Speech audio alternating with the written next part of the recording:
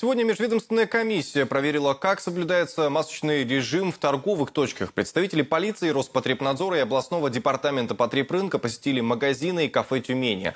В масках обязаны быть как сотрудники, так и клиенты. На видео рейд, который проходит в одном из заведений общепита. Здесь еду продают на вынос. В обед и вечером у прилавка скапливаются очереди. Сегодня обошлось без составления протоколов. Сотрудники соблюдают санитарные требования. Во время работы комиссии все посетители заходили в помещение в масках.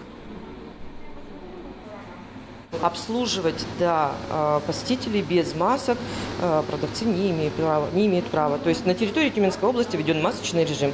Все посетители должны быть в маске. Сегодня с нами представители полиции, которые тоже будут обращать внимание граждан, именно физлиц, на то, что необходимо соблюдать эти меры. Может быть составлен протокол, в том числе и на физическое лицо, за несоблюдение.